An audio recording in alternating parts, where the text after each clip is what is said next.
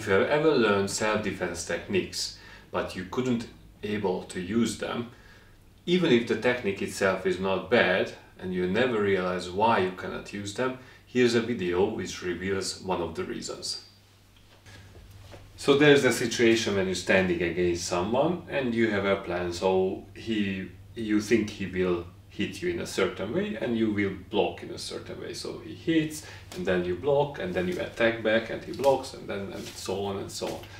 But sometimes it doesn't happen the way or is this, as you can see, it's not really a fight, it's a stage situation where you feel comfortable. But sometimes it happens in a way that he attacks the same way you want to block and then you're in serious trouble again and then it's not according what you plan i'm sure it happens with everybody in his normal life as well that it doesn't happen exactly the way he planned. So what can you do in such a situation or what is our approach?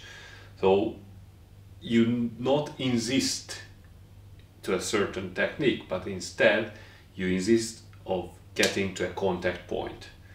Because when someone tries to hit you, he wants to get in contact with you. If he doesn't, it means you're not fighting, you're just avoiding each other.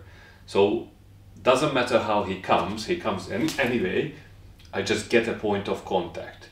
But it's not, not according to my certain intention. It can be here, it can be here, or can or maybe he attack me here, whatever. So when I get the point of contact, is our collision of powers.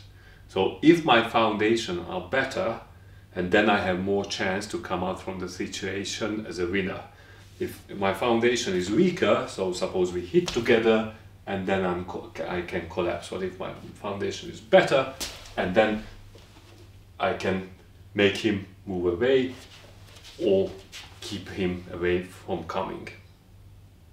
So to summarize it, the most important thing is that self-defense techniques, according to our approach, are not working, working without proper foundation. So if you are in a situation of fight, you don't have to insist to execute a certain technique, but you need to insist to get into a certain point of contact. And if your foundation are better, your chances are better. If you're interested in more Kung Fu skills, check out the other videos or look at the link below.